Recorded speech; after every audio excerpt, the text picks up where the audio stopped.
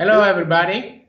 It's Manuel Mazzini speaking, and uh, I have a pleasure today to interview one of my great mentor. Uh, it's a great man, great chiropractor, uh, great leader in our profession. He helped my life personally and professionally, like anybody else. Please welcome Dr. Bob Hoffman. Thank you, Manuel. That was very kind of you. It's my pleasure to be on with you today. Bob, uh, I know that uh, you are uh, into this new incredible uh, boot camp. It's called Transformation uh, Practice Transformation Boot Camp. Can you please explain to all my friends and profession what it's all about? I'd be honored to. Manuel, I've been in chiropractic for 40 years, and it's very challenging to realize that worldwide we're still taking care of the same percentage of people. We haven't made very much progress in 40 years. Quite honestly, our profession has had the failure to adapt. We're still using case history questions from 60 and 70 years ago. We're still using business models that are old and outdated and inefficient. In fact, one of the things I hear most common when I travel around the world is my first few years in practice were amazing.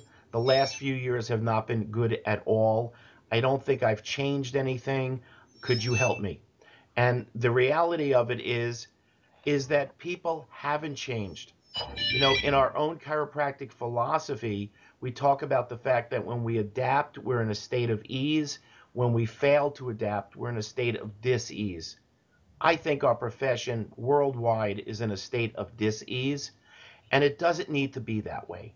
It's very easy to succeed in chiropractic. People are literally dying every day for our services, but they don't know it. And I think at the heart of all of this, Manuel, is our inability to communicate effectively. We keep saying the same story, using the same words, the same analogies, the same metaphors. We don't communicate that information with energy or certainty or passion we do it almost robotically, where we seem to just regurgitate all over the patient the same thing we said to the last patient. And people shake their head that they hear us, but they don't understand us. And at the heart and soul of communication is not what we say, it's what the other person hears.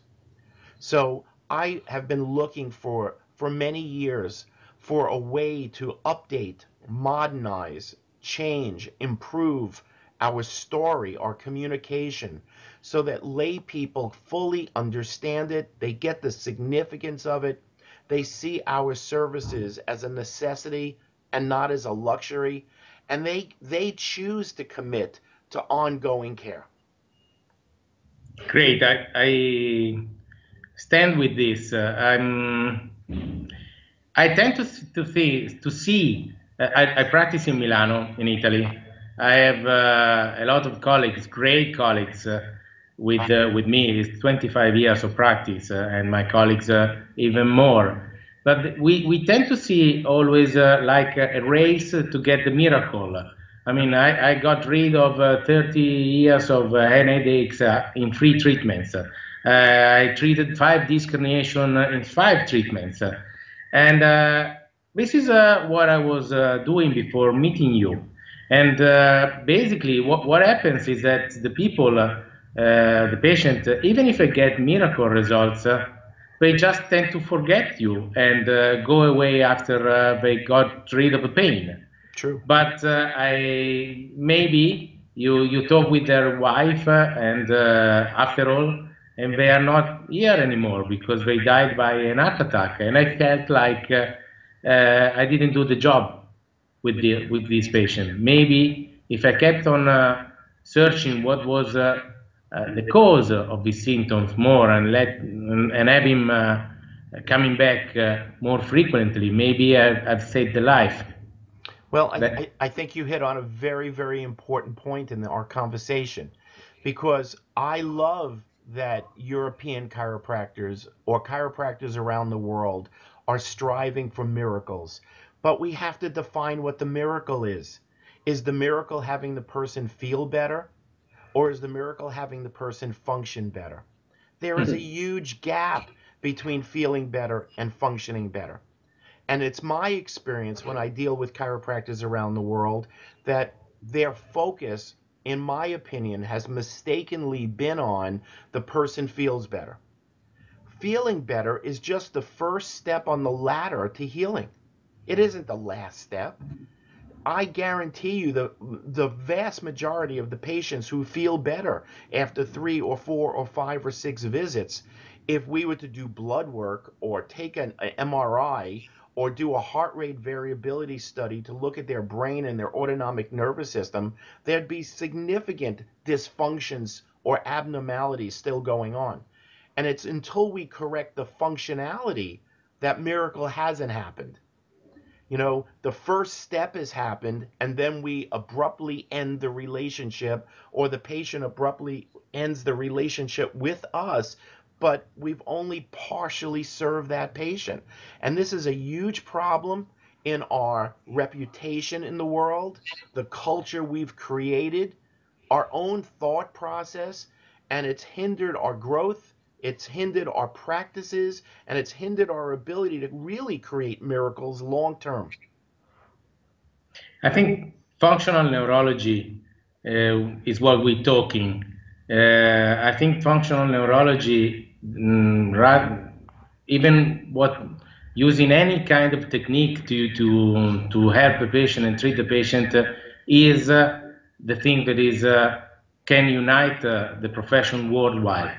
I totally agree with that. I totally agree. And you know what? This isn't new. This is just bringing back the past with new technology, new research, new tools.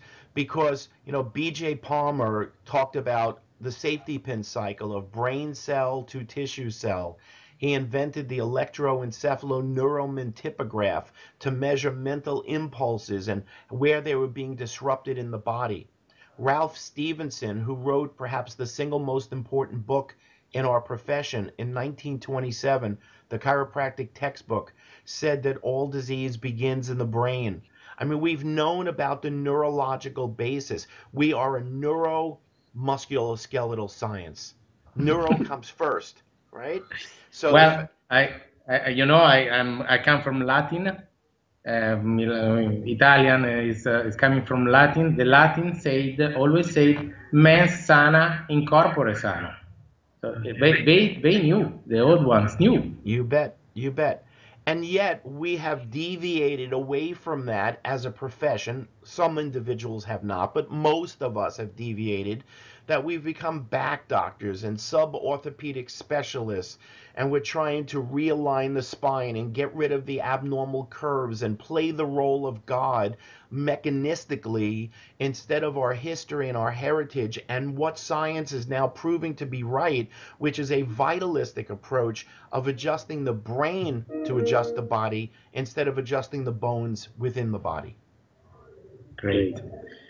Thank you, Bob. Uh, last, the last question. Uh, economically, how is this bootcamp can can can help you economically? That's a great question. Well, first, just to give you a little bit of information, and there's obviously going to be a lot of email with free training videos. I, I created over an hour and a half of training videos absolutely for free because I know not everybody is going to purchase my program.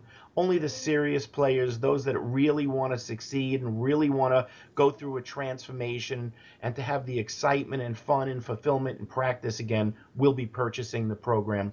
But in the program, I have 14 hours of video training.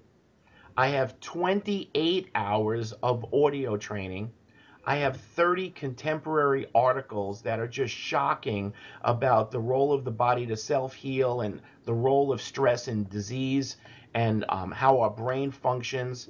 I have over 300 pages of articles, um, letters, surveys, forms to help you implement this in your practice. I even will do, as part of the program, three 30 minute coaching calls to help you implement to make sure that it's fail proof and easy to implement. But what's the end result is the answer to your question. I could pretty much guarantee you because you, as well as dozens and dozens of other chiropractors around the world, have been practicing in this brain based chiropractic model, the way I'm teaching it, the way I've developed it, for the last two, three, four years with outstanding success, rapid growth. So here's what I've discovered consistently, doctors who are doing this, who have gone through this transformation, far more new patients, far better conversion which means the new patient chooses care instead of not coming back. Much better compliance where people choose to come back for long term because they see that frequency over time is the healing formula to retrain the brain, to create new synapses, to reduce and neutralize their stress so that they're not in sympathetic overload where they're just spilling cortisol and other hormones and bathing in that corrosive substance. Um, we find that the doctor's clinical results are faster, longer lasting, and again, we get to that miracle point that functionality is back to normal, back to perfect, back to balance. But in addition, the doctor's um, finances and prosperity skyrocket, not because that's what this is about, but that's a beautiful consequence or side effect of taking care of more people, getting better results, enhancing your reputation, enhancing um, people's respect for what you do. Um, and even more important than that, I, I find that doctors' level of happiness, fulfillment go through the roof. They just, they're doing great work. They're consistently getting great results. There's very little stress in practice and they're just thriving and flourishing. And I know that any doctor, I don't care where they graduated, I don't care how young or old they are, I don't care what techniques they use, if they could implement more of the communication and the new model I created, the new case history questions, the new exam procedures with some adjusting protocols and a shift in the business model, I'm just telling you the practice is just going to thrive and flourish big time. And that's what I want for our profession. After 40 years, I want to get rid of the frustration of not seeing the profession make a change or grow and having this failure to adapt.